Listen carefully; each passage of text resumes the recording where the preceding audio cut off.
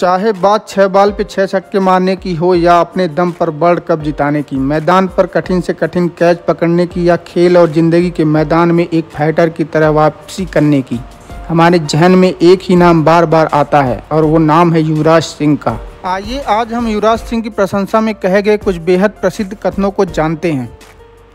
सचिन तेंदुलकर ने कहा था, अगर कोई अपनी ज़िंदगी में लड़ना चाहता है तो यू भी सबसे अच्छा एग्ज़ाम्पल है।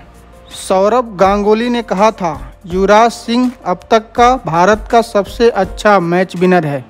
वीरेंद्र सहवाग ने कहा था, युवराज हम सब के लिए प्रेरणा है। मैं युवराज को उसकी फाइटिंग स्पिरिट के लिए सलाम करता हूँ। वसीम अकरम ने कहा था, युवराज कभी रिकॉर्ड्स के लिए नहीं खेलता। वह अपने मुल्क के लिए खेलता है। कपिल देव ने कहा था, भारत ने अब तक के दो सबसे अच्छे बाएँ हाथ के बल्लेबाज दिए हैं। एक सौरभ गांगुली, दूसरा युवराज सिंह। ब्रेट ली ने कहा था, युवराज सिंह भारतीय क्रिकेट टीम के स्तंभ हैं। वीवीएस लक्ष्मण ने कहा था, तुम्हारे साथ खेलना बहुत ही आनंददायक रहा। तुम इस खेल के इतिहास में सबसे महान खिलाड़ियों में से एक गिने जाओगे।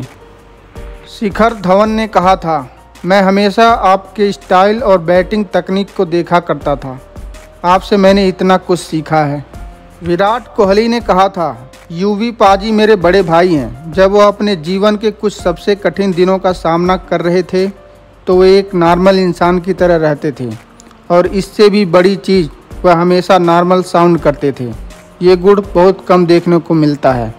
हरभजन सिंह ने कहा था, वह वास्तव में शेर है और उसने ज़िंदगी की लड़ाई जीती है। केविन पीटरसन ने कहा था, यूवी इंडियन सुपरस्टार है और उसने कई लोगों को गलत साबित किया है। शोएब मलिक ने कहा था, शानदार अंतर्राष्ट्रीय करियर के लिए बधाई। मैदान पर और मैदान के बाहर आपकी ताकत और विश्वास सचमुच प्रेरणादायक है। स्टुअर्ट ब्राड ने कहा था, मैं हमेशा युवराज सिंह से डरा रहता हूँ। वह अब तक का सर्वश्रेष्ठ है।